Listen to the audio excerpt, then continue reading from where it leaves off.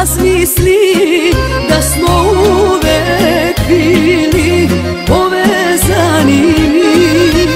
Kad se veza prekine Više se ne sastavlja Tu se naša priča završava.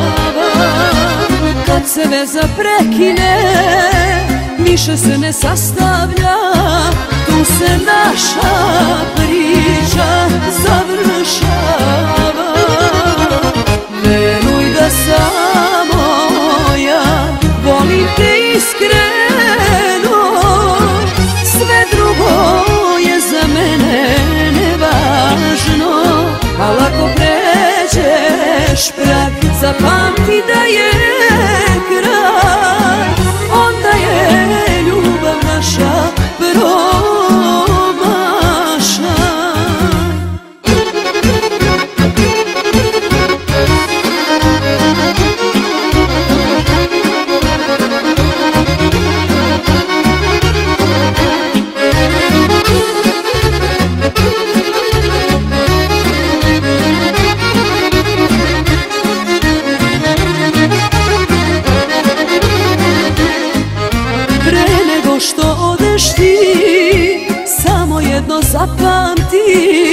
mi s tobom ode deo mladosti Kada tebe stignu sve Moje suze iskrene Znaćeš da si srećan